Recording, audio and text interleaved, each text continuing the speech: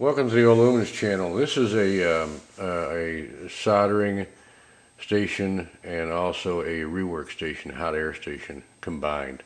Um, this came from T-Mart. It came for review. It came from T-Mart USA. Uh, it came with the, uh, the, the, the hot air unit. It came with the soldering gun, soldering iron, uh, and it came with uh, some spare or some tips for the hot air unit, different uh, size tips, and uh, it came with a manual that's fully in English, okay, which is a great benefit. Uh, it was packaged in the original packaging and, uh, and packaged well. Came UPS ground. so anyways, I'm going to do a review on this. This is basically just the initial you know, what have I got kind of thing to give you a little information on it because uh, I've never worked with a hot air station before, so I'm going to learn and I'm going to do a video showing you how I learned how to do it because I've never tried it before. Um, I can tell you a little bit about the, the, uh, the unit right now, the basics. Uh, it has a digital readout. Uh, it has a switch, on-off switch for the rework station, okay? It's set at 200 degrees right now. It has an on-off switch for the soldering station. And you can see how fast that thing heats up right now. it's amazing, but okay, it went from, you know, it went to, a temperature of 200 degrees right there. And the iron is hot. Uh, I mean, it may not be quite 200, but it's darn close. So it's a it's a fast uh, a fast heat iron, that's for sure. Um, the soldering iron is a, is a 50 watt iron. Uh, it's more like a pencil tip, okay? I'll probably like that for some of the small components, but I won't like it for big, heavy stuff. Uh, it's a 26 volt soldering iron. Power consumption is 50 watt. Uh, the temperature range is 200 to 450 degrees. Um, the uh, the rework gun uh, is uh, 110 uh, volt. Um, 220 to 110 volt is set up for 110 volt. Uh, 700 watt. temperature range 100 to 450 C. uses a brushless fan.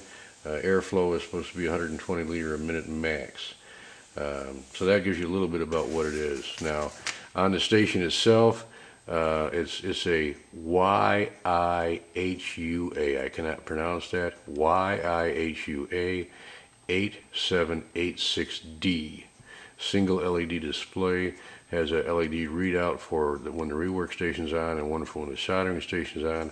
Up and down buttons to change temperatures. Set button. Not sure what the heck that's for yet. Uh, this dial indicator here from one to to eight is where you set the temperature for the uh, for the uh, soldering iron. Okay, um, and again the switches for on and off down here on the bottom for each one. The rework station wire is is hardwired into the unit.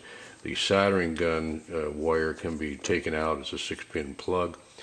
Um, as I say, the tip is a very fine point tip, and there are no spare tips.